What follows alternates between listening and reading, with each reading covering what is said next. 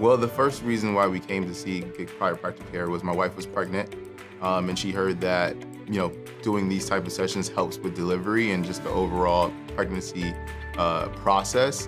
So that was the real reason why we started coming, and it just evolved, just becoming more of a healthy lifestyle for us.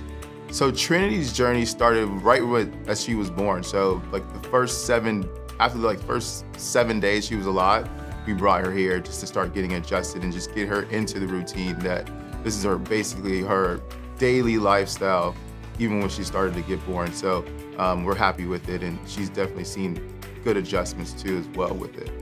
Well, Dr. Gena played a huge role as our transition the first two weeks when Trinity was born. Uh, she provided part of us for helping us with breastfeeding. Uh, she gave us some maid mothers as well to help us throughout the process.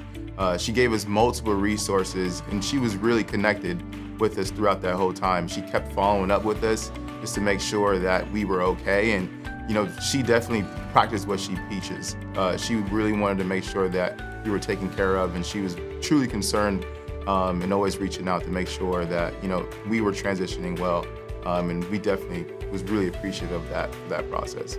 The best part of being a patient of Dr. Gena is pretty much it's a family.